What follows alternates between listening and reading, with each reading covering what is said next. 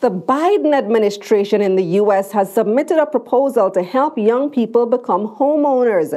But will it make a difference? I'm Kalilah Reynolds, financial journalist and educator. So the Biden administration is proposing to set aside 26 billion US dollars to help alleviate some of the pressure in the U.S. housing market. The housing situation in the U.S. is pretty intense right now. Mortgage rates are at a decade high of 8%, and mortgage demand is at its lowest point in nearly 30 years. See, during the height of the pandemic, interest rates were super low, meaning mortgage rates were super low. This caused a massive uptick in home purchases. But ever since the financial crisis in 2008, developers have kind of been underdeveloping housing to avoid another fiasco. So the rule of supply and demand kicked in.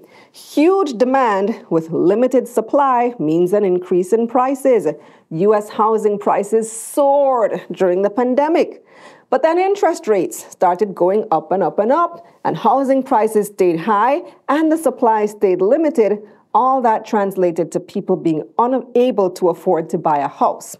Now, the crisis is disproportionately affecting young people or would be first time homeowners. CEO of Profit Jumpstarter Keisha Bailey talked about it recently on Taking Stock.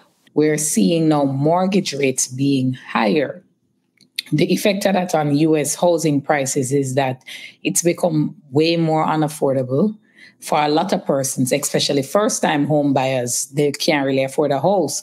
And so they, there's this new thing coming up that, you know, a generation maybe end up being lost because you're going to have so many people who are now just entering the workforce, ready to start a family, and they can't afford to buy a house because it's just so expensive. So the U.S. government is proposing a $16 billion program that would build or rehabilitate 400,000 homes for families.